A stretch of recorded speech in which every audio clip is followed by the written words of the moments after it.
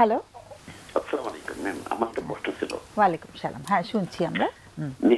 Ma'am আমার একটা মেয়ের সাথে অ্যাফেয়ার ছিল। একটা মেয়ের সাথে অ্যাফেয়ার ছিল। আচ্ছা। ছিল আজ থেকে প্রায় আঠাশ বছর আগে। আঠাশ বছর? আচ্ছা। তো আঠাশ বছর আগে মেয়েটা যখন নাইনে পড়ে তখন তার তার সাথে আমার রিলেশন শুরু।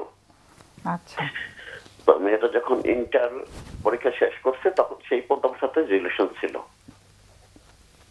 উম, যে Nine থেকে যখন ইন্টারমিডিয়েটে পড়ছে ওই পর্যন্ত নাইন থেকে ওই পর্যন্ত সম্পর্ক চলেছে। জি জি। হ্যাঁ। তারপর সে হঠাৎ করে একদিন সে বলল যে আমার সাথে সে পারিবারিক কারণে যে কোনো কারণে সে সম্পর্ক রাখবে না। আচ্ছা। তাকে ভুলে যেতে বলল। তো আমি চিন্তা করলাম ঠিক আছে তুমি যাতে ভুলে থেকে সুখে হও ঠিক আছে যাও। হুম। তো আঠাশ বছর পর সে আবার এখন আমার কাছে আসতে চাচ্ছে। আঠাশ বছর পরে আসতে চাচ্ছে? জি। সো এখন তো I'm sure you are married right না উনি ম্যারেজ বলতে আহ, ওনার বিয়ে হয়ে যে বিয়ে হয়েছিল সেটা না না আর ইউ ম্যারিড জি শিওর হ্যাঁ সো ওই একজন মানে এখন তো তার প্রেমিকার অবিবাহিত না কিন্তু তারপরে ফেরত আসতে চাচ্ছে। না না সে মানে মানে তার একটা বিয়ে হয়েছিল সেটা পনেরো দিন না না। যে যার কাছে সে আসতে চাচ্ছে সে তো ম্যারিড জি জি জি শিওর সেটাই তো আমি বলছি। জি। ওর আগের বিয়েটা মানে এখন বহাল নেই। সেজন্য সে এখন পুরনো প্রেমিকের কাছে চলে আসতে চাচ্ছে কিন্তু প্রেমিক আবার বিবাহিত তাই তো? জি জি জি জি সেক্ষেত্রে এখন কি করণীয় আছে? এবং সে মানে কতটুকু কনফিডেন্স তার প্রতি আমার থাকবে? এত কঠিন একটা প্রশ্ন। এটা তো এটা তো আমার মনে হয় যে কেউই উত্তর দিতে পারবে না। তাই না? জি। মানে এজটা কত? আমি তুমি করেই বলি তোমার এজটা কত? জি জি। আমার এখন ফিফটি টু ফিফটি টু আচ্ছা। সো মানে আমি একটু মানে তুমি বলতে পছন্দ করি আমার চেয়ে যারা ছোট হ্যাঁ, সো ডেফিনেটলি আমার চেয়ে সবাই ছোট। তো সেই জন্য জানতে চাচ্ছি যে মানে তোমার তো সন্তানও আছে। হ্যাঁ আমার একটা বেবি আছে। বেবি তো আর নাই সে তো বড় হয়ে গেছে। না হ্যাঁ ছোটই। কত? এই তো নয় বছর বয়স। নয় বছর বয়সে তার বেবি থাকে না। হুম। হ্যাঁ, আচ্ছা। হ্যাঁ। এনিওয়ে কিন্তু বিয়ে হয়েছে কতদিন তোমার? আসলে আমার লেট ম্যারেজ আমি দু হাজার তেরোতে বিয়ে করি। তেরোতে। তার মানে কত বছর বয়সে? টেন ইয়ার্স তখন বয়সটা কত ছিল? আমার? হ্যাঁ। তখন কত তেরো ফিফটি টু হলে মানে তেরো হলে দশ বছর আগে। তার মানে ফর্টি টু বয়সে তাই তো? ফর্টি ধরেন হ্যাঁ ফর্টি ধরছি। তো এখন তারপরেও তো দশ বছর হয়ে গেছে না? মানে বিয়ের বিয়ের বয়স। তো এখন সে মেয়েটি হঠাৎ করে যোগাযোগ করল নাকি তার সাথে মাঝে মাঝে যোগাযোগ হতো? না কখনোই এই সাতাশ আঠাশ বছর ভিতরে কখনো যোগাযোগ হয়নি। কবে যোগাযোগটা করল কবে সে? তো আমি যদি মাঝে মাঝে সাডেনলি ফোন দিতাম তাকে সে মানে খুব ধমক দিয়ে ফোনটা রেখে দিত। কখন? job তুমি। বিয়ের আগে ফোন দিতে না বিয়ের পরেও ফোন দিয়েছ? আমি বিয়ের আগে ফোন দিতাম। আচ্ছা। তুমি কি তার জন্য অপেক্ষা করে এত দেরি করলে? মানে বিয়েটা জি করার আচ্ছা। ওকে। জি।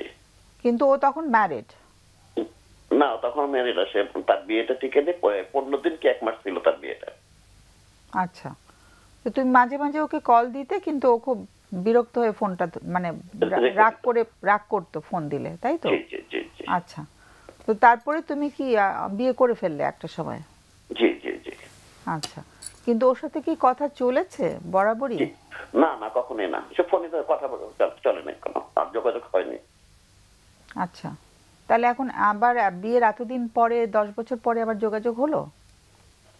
না তার সাথে তো আমার মানে রিলেশন নেই আঠাশ বছর পরে আমি তো রিলেশনের কথা বলিনি। আমি বললাম যোগাযোগটা কখন হলো? যোগাযোগ এই তো মানে এবছরই এই বছর তো শেষ হতে চলল। জি। তাই না? মানে তাহলে কি আমরা বলব যে এক বছর ধরে যোগাযোগ চলছে? এই বছরের সেপ্টেম্বরে। তখন সে কি রাগ করল না ফোন করার পরে? নাকি তুমি কি বিয়ের হ্যাঁ, পরেও বিয়ের পরেও যোগাযোগ অব্যাহত রেখেছিলে? না ফোন করার পর সে ঝাড়ি মেরে ফোনটা রেখে দিল। আচ্ছা। যে একটা জব করেন তো বলল যে আমাকে ফোন দিবে না বিরক্ত আমি ব্যস্ত। হ্যাঁ। ব্যাস ফোনটা রেখে দিল। পরের দিন আবার ফোন দিলাম সে- উনচল্লিশ মিনিট কথা বলল কথা বলে ফোনটা রেখে দিল। এই প্রথম এতক্ষণ কথা বলল? হ্যাঁ, উনচল্লিশ সেকেন্ড উনচল্লিশ সেকেন্ড আমি তো মিনিট শুনেছি। না না সেকেন্ড আচ্ছা। উনচল্লিশ সেকেন্ড কথা বলে ফোনটা রেখে দিল। এই কথাটার সাথে। কিন্তু তারপরে যেমনি মানে সে আমি তাকে একটা মেসেজ দিই। মেসেজের রিপ্লাইটার পরে সে আমার সাথে কথা বলে। এবং তারপর থেকে কথা চলছে। যে তারপরে দেখা করার জন্য মানে এগ্রি এগ্রি হয়। হুম। তারপর দেখা হলো? জি। তারপর সে বলল আমি তোমার কাছে ফেরত আসছি তোমার কাছে তোমাকে আবার বিয়ে তোমাকেই বিয়ে করতে চাচ্ছি। জি তাই কি? জি। আচ্ছা। ওকে তারপর থেকে কথা চলছে দেখা সাক্ষাৎ তো চলছে। জি। আচ্ছা এই এখন এই মুহূর্তে স্ত্রী কোথায়? তোমার স্ত্রী কোথায়? বাসায় আছে। আচ্ছা বা অন্য রুমে? জি। ও কি জানে কিছু? না। কিছু সন্দেহ করেনি? না না ওরকম না আমাদের অন্যরকম মানে ভালো সম্পর্ক মানুষ ভালো? জি জি জি। ভালো মানুষরা সন্দেহ করে না। হ্যাঁ? যারা সন্দেহ করে তারা সবাই খারাপ মানুষ। না মন মানসিকতা অনেক ভালো মানে ওরকম ইয়ে না না না মন মানসিকতার সাথে এটা কোনো সম্পর্ক নেই। যে কোনো পার্টনারের কষ্ট হওয়ার কথা তার স্বামী যদি অন্য কারোর সাথে বা স্ত্রী অন্য কারোর সাথে জড়িয়ে যায় যেটা আজকে আমাদের বিষয়বস্তু পরকিয়া। তো সেখানে আমার পার্টনার কারোর কাছে জড়িয়ে যাবে কারোর সঙ্গে জড়িয়ে যাবে আর আমি অনেক ভালো মানুষ আর আমার কোনো কষ্ট হবে না। এটা কি হয়? সায়েন্সও এটা বলে না আর্টও এটা বলে না মনোবিজ্ঞানও এটা বলে না। হ্যাঁ যে কোনো। মানুষের সে পুরুষই হোক বা মেয়েই হোক তার তার যদি মানে সঙ্গী জীবন সঙ্গী বা বিবাহিত যার সঙ্গে আছে তার অন্য জায়গায় জড়িয়ে যাওয়াটা সে একদম নিতে পারে না। হ্যাঁ এটাই স্বাভাবিক যত ভালো মানুষই হোক সে। তা এখন প্রশ্নটা হচ্ছে যে এখন আমি তাকে ফেরত আনব নাকি? তাই তো? তো ফেরত আনলে স্ত্রীর কি হবে? যিনি এখন আছেন জি। তার কি হবে? থাকবে সে। ও দুজনেই থাকবে?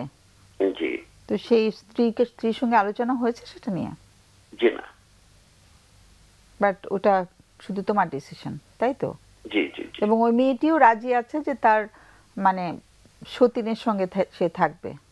না সে বোধহয় একা একত্রে থাকবে না আলাদা। আচ্ছা দুইটা বাড়ি করতে হবে দুই- দুইটা বাসস্থান হতে হবে। সেই অর্থনৈতিক সঙ্গতিটা আছে তোমার? হ্যাঁ মোটামুটি বলা চলে। দুজন স্ত্রী রাখা সম্ভব? জি। আর দুজনকে একরকম ভালোবাসা সম্ভব? অবশ্যই সম্ভব। ইসলাম যেটা বলে। ইসলাম তো অনেক কঠিন শর্ত আছে কিন্তু এখানে। জি। হ্যাঁ কঠিন শর্তটা হচ্ছে একেবারে পরিপূর্ণভাবে দুজনকে একই রকম সবকিছু দিতে হবে। শুধু সম্পত্তি না মনটাও দুটো ভাগ করে দিতে হবে। হ্যাঁ তো সেটা আমাদের একটা মানুষ হিসেবে কতটুকু সম্ভব সেটা আমরা এখন ধর্মের মধ্যে না গেলে অনেক বড় আলোচনা হয়ে যাবে আমি সেখানে না ঢুকি তো যাই হোক আমাদের কাছে প্রশ্নটা হচ্ছে যে মানে তাকে বিয়ে করার ইচ্ছে হচ্ছে এবং সেও চাইছে তাহলে সেটা করবে কিনা তাই তো? ওইটাই প্রশ্ন। হ্যাঁ একটু লাইনে থাকতে হবে যদি তোমাদের কোনো প্রশ্ন থাকে চট করে। আচ্ছা আপনি কি একটু বলবেন আপনার সন্তানের সাথে আপনার সম্পর্কটা কেমন? অবশ্যই ভালো। ভালো। আচ্ছা আচ্ছা। আর আপনার ওয়াইফের সাথে বলেছেন যে মানে উনি ভালো মানুষ কিন্তু আপনার সাথে ওনার সম্পর্কটা কেমন? ভালো। ভালো? সবই ভালো। আচ্ছা আচ্ছা। আর আপনাদের বিয়েটা যে হয়েছিল পছন্দের বিয়ে নাকি জি জি জি ও আচ্ছা। ওটা পছন্দের বিয়ে? এটাও পছন্দের বিয়ে আছে আর এর মাঝে কি আপনার জীবনে অন্য কেউ এসেছিলেন যে তাকেও পছন্দ হতো এত বছরে বা না না না না। এরকম কিছু হতো না হ্যাঁ। আপনার পরিবারের সাথে মানে পরিবারের অন্য অন্য সদস্যদের সাথে আপনার ওয়াইফ বা সন্তানদের সম্পর্কটা কেমন? ভালো। সন্তান তো একজনই। আচ্ছা আচ্ছা। চৈতির কোনো প্রশ্ন আছে? না আমি একটু জানতে চাচ্ছিলাম যে আপনি তো আসলে এটা আপনার নিজের সিদ্ধান্তটা মনে মনে ঠিক করেছেন এবং ওইটা ওইভাবে করে প্রসেস করবেন বলে চিন্তা করেছেন। তো কি হতে পারে? মানে আপনার ওয়াইফ আপনার যে বর্তমান ওয়াইফ উনি কি অ্যাগ্রি করবে বলে আপনার মনে হয়? না এটা একটা মেয়ে তো স্বাভাবিক মেনে নিতে পারে না। আর নেয় না সেটা আমি বুঝি। তো সেক্ষেত্রে এটা আমার তাদের সাথে একটা সমঝোতা করতে হবে কিংবা তাকে বোঝাতে হবে। আচ্ছা। আর যদি সে না বুঝতে চায়? হ্যাঁ। গুড যদি সে সমস্যা করে কারণ আহ, ওনার তো রাইট আছে সিদ্ধান্ত নেয়ার তাই না? বড় ওয়াইফ হিসাবে উনি আপনাকে পারমিশন দিল না। সেক্ষেত্রে সেক্ষেত্রে মানে সমস্যা নেই সমস্যা হবে না। কীরকম পারমিশন মানে সে জানলো না আলাদা থাকবে সে আলাদা থাকবে তার সাথে কখনো দেখা হবে না কারোর সাথে কারও। তার মানে আপনি একটা মানে বিষয়টা হাইড করে আপনার আহ, ভালোবাসার সম্পর্কটাকে কন্টিনিউ করবেন তাই তো? মানে আরেকজনকে বিয়ে করবে আরেকজনকে বিয়ে করবেন আচ্ছা আচ্ছা। এটা আইনত তো- কিন্তু বৈধ হয় না এই বিয়েটা হ্যাঁ জি আর কোনো প্রশ্ন? না ঠিক আছে। না এখন আমার প্রশ্ন ছিল যে এটা কি করলে কত সেহেতু যেহেতু আমাকে একবার ইয়ে করে চলে গেছে ব্লাইন দিয়ে চলে গেছে। এটা আমাদের এটা আমাদের এই ফোরাম থেকে উত্তরটা দেওয়াটা খুব মুশকিল আমরা কোনো সিদ্ধান্ত দিতে পারি না কেমন? আমরা যে কাজটা করি। সে এখন এসে আবার যেমন আমাকে রেখে যাবে না এটা কোন নিশ্চয়তা কি সেটা না। সেটা তো আমরা কেউ বলতে পারি না সেটা মহান সৃষ্টিকর্তা ছাড়া আর কেউ বলতে পারেন না। কেমন? ঠিক আছে? অনেক অনেক ধন্যবাদ ফোন করার জন্য। আচ্ছা ওকে আমাদের কি বিরতির সময় হয়ে গেছে। এক মিনিট বাকি আছে। হামিদ কিছু অ্যাড করতে চাও? আচ্ছা। এখানে আমার মনে হচ্ছে যে আসলে উনার এটা প্রথম প্রেম বা আগের একটা প্রেম।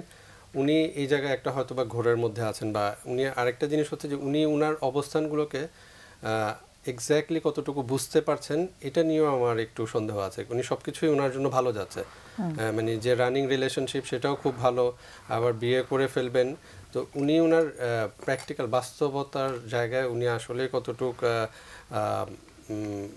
চিন্তা করে সিদ্ধান্ত নেন নাকি অনেক আবেগের ঘরে সিদ্ধান্ত নেন এই বিষয়টা ওনাকে ভাবা দরকার। এবং এটা নিয়ে ওনার নিজে নিজেই যদি একটু কাজ করেন যে আমি যে সিদ্ধান্তগুলো নেই বা বলছি আমি যা বলছি এটা কি আমার অথেন্টিক কথা কিনা হ্যাঁ?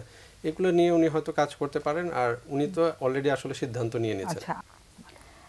না যিনি আসলে আমাদের ফোনটা করেছিলেন, তো যতটুকু বোঝা গেল যে আমাদের আজকে যে টপিকটা বা যে এক্সট্রা ম্যারিটাল রিলেশনশিপের কিন্তু আরেকটা বিষয় খুবই সিগনিফিক্যান্ট বিশেষ করে এক্স গার্লফ্রেন্ড হোক বা এক্স বয়ফ্রেন্ড হোক তাদের প্রতি যে ইমোশনাল বা যে এক্সপিরিয়েন্সগুলো ছিল প্লেজার বা ভালো মেমোরিগুলো ছিল সেগুলো না সামহাও কনসিয়াসলি আর সাবকনসিয়াসলি ভদ্রলোকের জবাবটা দিবে। ও আচ্ছা ওনার ক্ষেত্রে যেটা হলো যে হ্যাঁ, ওইটা হামিদ বলে নাই হ্যাঁ, হামিদ হ্যাঁ। পরে বলবে। তুমি এই এই যে যিনি ফোন করেছেন তার ইস্যুটা নিয়ে কথা বলো। না এখানে না উনি তো আসলে এখন ধরেন আঠাশ বছর একটা মানুষের কাছ থেকে উনি দূরে ছিলেন এবং উনি ওনার মতো করে তার জীবনটা কিন্তু মুভ অন করেছেন। একটা বিয়ে করেছেন সে সংসারে একটা বাচ্চাও হয়েছে এবং উনি যেটা বলল যে সব কিছু ভালো, তার ওয়াইফটাও ভালো এবং শ্বশুরবাড়ির সাথে ওয়াইফের সম্পর্ক ভালো। তো হঠাৎ করে তার এক্স তাকে ইনভাইট করল, তার জীবনে আসবে এবং এটাকে উনি যত সাবলীলভাবে ওয়েলকাম করছে, যতটুকু মনে হচ্ছে যে ওয়াইফ রাজি হোক বা না হোক, উনি অন্যভাবে বিষয়টাকে ম্যানেজ করবেন। এটা আসলে মানে চট করে সিদ্ধান্ত নিয়ে নেওয়ার বিষয় না। কারণ এটার মানে অনেক কিছু আছে যেগুলো ওনাকে আরও চিন্তা করতে হবে, আর একটু সময় নিতে হবে। হলে কি হবে, কীভাবে হবে, এই প্রসেসগুলো আসলে ওনাকে আরও অনেক বেশি ইনডেপথে কাজ করতে হবে হ্যাঁ? এটা এমন না যে মানে আমার মনে হলো আর আমি একটা সিদ্ধান্ত নিয়ে ফেললাম। কারণ এখানে অনেকগুলো মানুষের জীবন যুক্ত তার বর্তমান ওয়াইফ তার বাচ্চা হ্যাঁ এবং উনি যে নতুন সম্পর্কে জড়াতে চাচ্ছে, সেটাও আদৌ আঠাশ বছর পর তার আগের মেমোরি আগের অনুভূতি, আগের অ্যাটাচমেন্টটা ক্যারি অন করবে কি না উনি কিন্তু জানে না। যখন একসাথে থাকতে শুরু করবে তখন সেটাকে বুঝতে পারবে। তবে আমার কাছে মনে হয় যে এরকম একটা ভাইটাল সিদ্ধান্ত নেয়ার আগে অবশ্যই একজন প্রফেশনালের সাথে যদি উনি বিষয়টা নিয়ে কাজ করেন তাহলে হয়তো বা অনেক কিছু এক্সপ্লোর করার সুযোগ থাকবে। এবং যেখান থেকে উনি তার লজিক্যাল সিদ্ধান্ত তার সিচুয়েশন তার কনটেক্সট তার সব কিছু মিলিয়ে একটা লজিক্যাল সিদ্ধান্ত নিতে পারবেন। আরেকটা জিনিস আমার কাছে লাগছে যে মেয়েটির সাথে সে কিন্তু মানে যোগাযোগটা অব্যাহত রেখেছিল। জি। কিন্তু প্রতিবারই মেয়েটি কিন্তু খুব দুর্ব্যবহার করেছে। বলেছে একটা ঝাড়ি দিয়ে ফোনটা রেখে দিত। সেটাও কিন্তু মানে জানতে পারলে ভালো হতো যে এই ঝাড়ি দিতে দিতে হঠাৎ করে কি হলো? তাই না?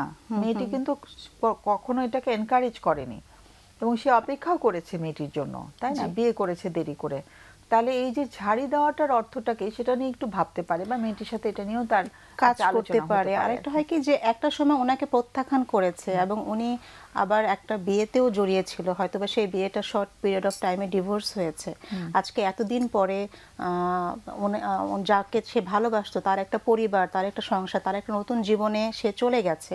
সেখানে এসে তাকে আবার এরকম একটা ইন্টারাপ্ট করা এটাও আসলে কতটুক মানে আমি কি বলব তার ইন্টেনশনটা কি কাজ করছে সেটাও আসলে দেখার বিষয়। ইন্টারাপ্ট করছে কাকে? একটা এক্স এক্স যে ওনার বয়ফ্রেন্ড ছিল তার এখন বিবাহিত জীবনটা তো সুন্দর যাচ্ছে। এমন না যে উনি ডিস্টার্ব বা কোনো কারণে তাদের ফ্যামিলির বন্ডিংটা ভালো না। সেটা হলেও ছিল। বাট এই যে হঠাৎ করে এখন ওনার তো হাতে অপশান নাই ওনার এক্সের কাছে ফিরে আসবে এটা ভালো কথা। বাট ওনার তো এখন একটা সেট আপ যিনি আমাদের কল করেছেন ওনার তো জীবনটা ভরপুর আছে। ভরপুর আছে সবকিছু মিলে উনি খুব ভালো আছেন। এখন এই ভালো থাকাটাকে উনি আসলে ইন্টারাপ্ট করবেন কিনা সেটা আসলে ওনাকে অনেক বুঝে শুনে সিদ্ধান্ত নিতে হবে।